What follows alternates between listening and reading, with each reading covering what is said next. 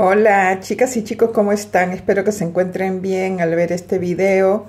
Eh, quiero anunciarles que voy a subir un video que es por fin el tag del esposo.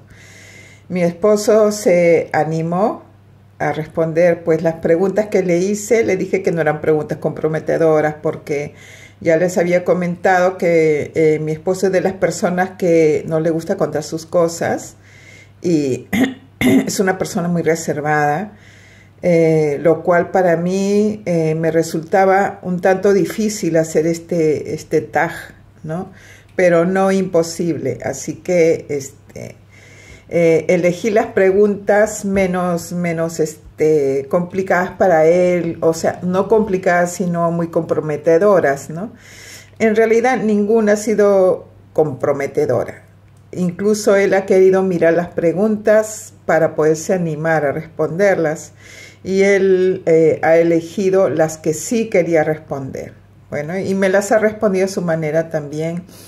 Quería decirles que, que, bueno, por fin, y antes que se desanime a contestarme las preguntas y hacer este tag, pues aproveché en un momento en que estábamos comiendo, eh, un momento en que él estaba este, eh, dispuesto a, colaborar de esta forma.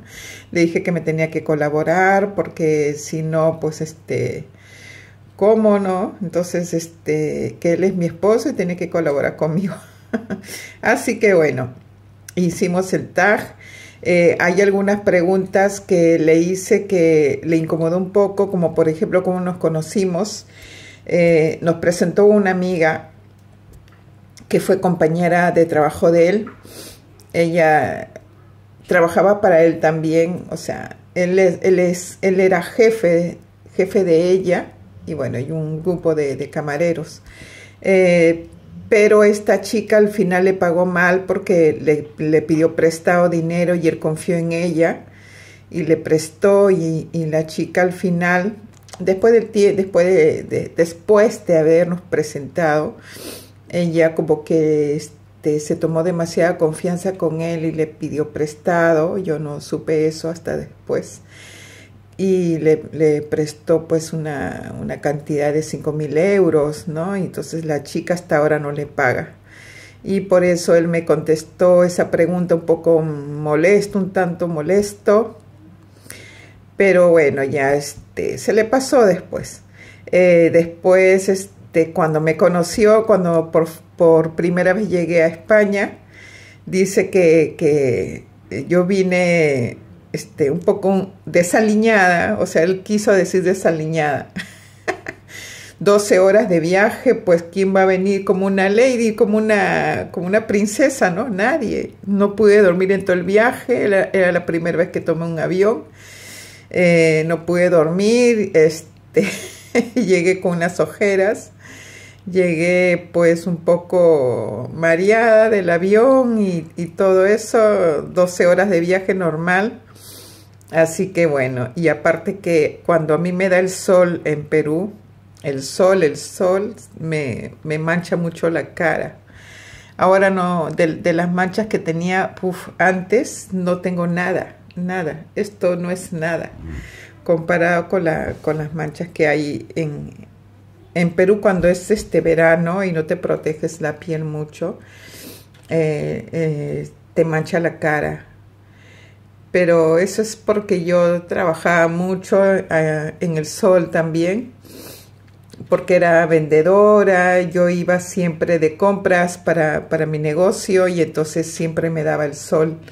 Y cuando él me vio, me dijo que le parecía una gitanita. Pero bueno, no, no, no con el son de, discriminar, no para nada, ¿no? Este, bromeaba. y bueno, entonces, este, eh, por eso dice él, ¿no? Que, no, no, no le gustó cómo llegué. si hubiese sido así, yo creo que se hubiese, ni siquiera se hubiese presentado, ¿no? Eh, la primera vez que, nos vimos no me dio un beso en la boca, me dio un par de besos en la mejilla porque este, se sintió un poco cortado. Y bueno, el resto de las cosas ustedes lo van a ver. Él tiene sus preferencias para comer. Eh, no es que sea muy exquisito, sino que él este, cuida mucho su salud. ¿Ok? Entonces, no es porque no le guste ciertos restaurantes o no le guste ciertas comidas, es que él eh, prefiere hacerlas en casa porque es más sano, ¿no es cierto?